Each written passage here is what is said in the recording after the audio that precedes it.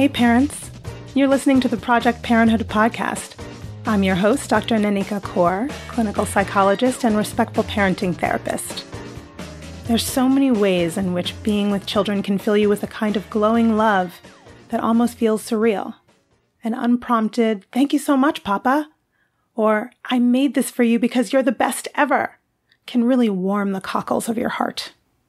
But there will always be times when you find yourself clenching your teeth and thinking, if I have to answer this question one more time, I'm going to throw this glass right at the wall. Or your child whines to you about how they wish they were with their other parent right now instead of you. And all the sacrifices you've made for this tiny human flash through your mind as you hear yourself saying, Yeah? Well, guess what? And things go downhill from there. Today, we're talking about your anger as a parent what it is, how it works, how to regulate it, and how to know when it's a problem for you and your children. While we all experience anger, it's important to actually define what it is we're talking about here. Anger is an emotional state that can vary in duration, intensity, and frequency within a person and between people. It starts with a physiological arousal and reactivity in response to any situation you perceive as aversive, threatening, or unfair. Outside of your conscious control, your nervous system automatically switches into survival mode of the fight variety. This aroused state brings your hypervigilance online. You begin to see others and the world as threatening or hostile, which then increases your reactivity, generating a feedback loop. Basically, the angrier you are, the more threatening the world seems. Your facial expression, body posture, the tone and volume of your voice, the words you use, and the actions you take help to communicate your angers to others. You can be in an angry state, which is called state anger, or you might be particularly predisposed to becoming angry, such that anger is a trait of yours, or trait anger. Evolutionarily, fight mode is adaptive and might have helped you, and therefore your future offspring, survive an attack by a predator, or it might have allowed you to establish dominance with your fellow mammals. In the modern world, and especially as a parent, you need to be able to moderate your anger in order to get your needs met in non hurtful ways. If you struggle with emotional regulation, your anger can become controlling, rejecting, or aggressive, verbally or physically. The anger pathways of your brain can become so accustomed to firing that your reactive aggression happens almost instantaneously, which can feel like it's coming out of nowhere for you and for those on the receiving end of it. Most importantly, your chronic anger can negatively affect your child's emotions, increasing their vulnerability to depression and anxiety and set them on a path to developing trait anger themselves. Anger can also erode the relationship and the very connection between you and your child that might motivate them to behave in less triggering ways and be more cooperative with you. So, how do you regulate your anger?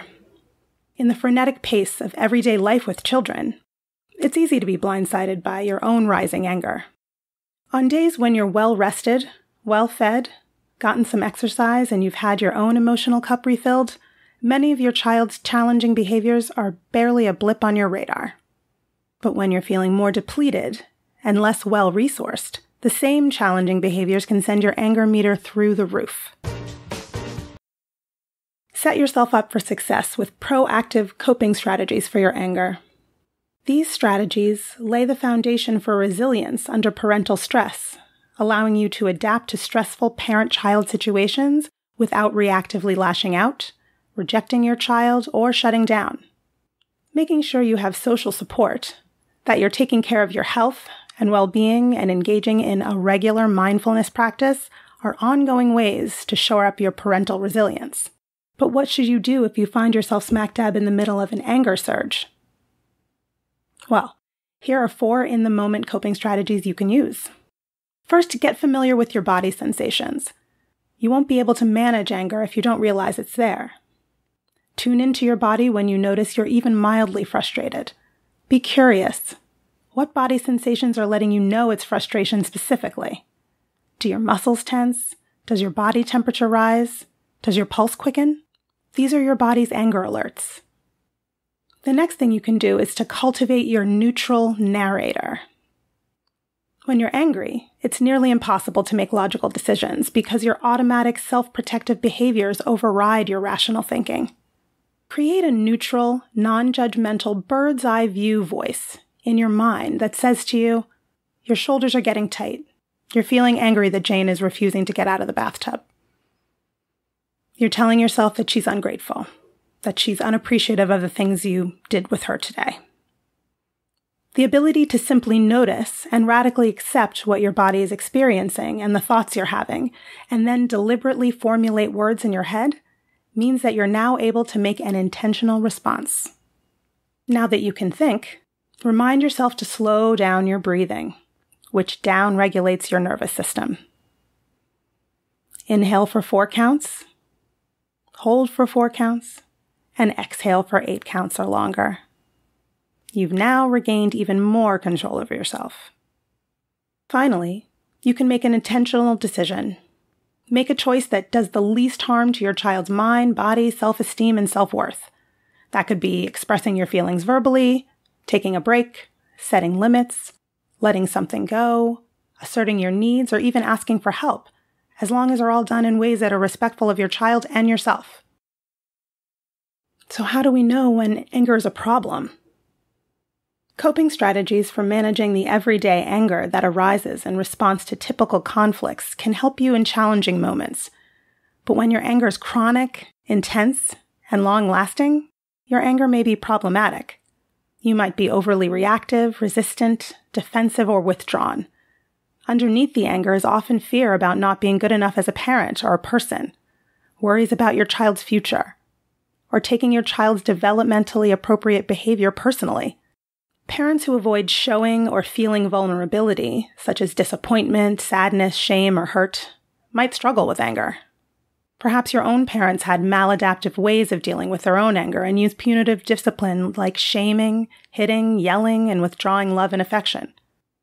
Harsh parenting practices can be passed down from one generation to the next through the modeling of behavior, Projecting your old pain on your kids damages your relationship with them and sets the stage for intergenerational trauma. There's no avoiding becoming angry when you're raising children. With their still developing brains, they're apt to act in ill advised, impulsive, or socially inappropriate ways that trigger the anger of their adults. Taking good care of yourself emotionally and physically, using in the moment coping strategies, and beefing up your social support can help. When you do blow up, repair your relationship with your child, and make an intentional plan for next time. If you notice you're becoming intensely critical, sarcastic, rigid, and impatient, seek help from a licensed therapist. It may be that what's fueling your anger are unresolved issues from harsh discipline or misattuned parenting in your own childhood. The good news is that you don't have to pass those issues along to your children. You've got the power to break the cycle. I hope that's helpful. You can find out more about my work with parents at www.brooklynparenttherapy.com and on Instagram at BKParents. That's B K P A R E N T S. If you have more questions about managing your anger as a parent or any other parenting questions or stories, leave me a message at 646 926 3243. And be sure to let me know if it's okay to use your voice on the show. Or send an email to parenthood at quickanddirtytips.com. Project Parenthood is a Quick and Dirty Tips podcast. It's audio engineered by Dan Feierabend with script editing by Adam Cecil. Our podcast and advertising operations specialist is Morgan Christensen. Our digital operations specialist is Holly Hutchings.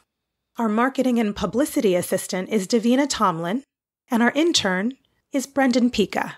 You can learn more about my work with parents at www.brooklynparenttherapy.com and on Instagram at BKParents. That's B K P A R E N T S. If you have more questions about PDA or any other parenting questions or stories, leave me a message at 646 926 3243 and be sure to let me know if it's okay to use your voice on the show. Or send an email to parenthood at quickanddirtytips.com. And don't forget to subscribe to Project Parenthood on Apple Podcasts, Spotify, or wherever you listen to podcasts. That's all for this episode. Thanks for listening. Catch you next week.